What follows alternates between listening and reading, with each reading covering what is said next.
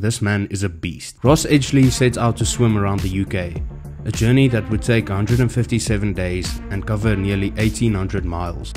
This was no easy task. He faced extreme cold and even had to battle a giant whirlpool west of Scotland. But that wasn't the worst of it.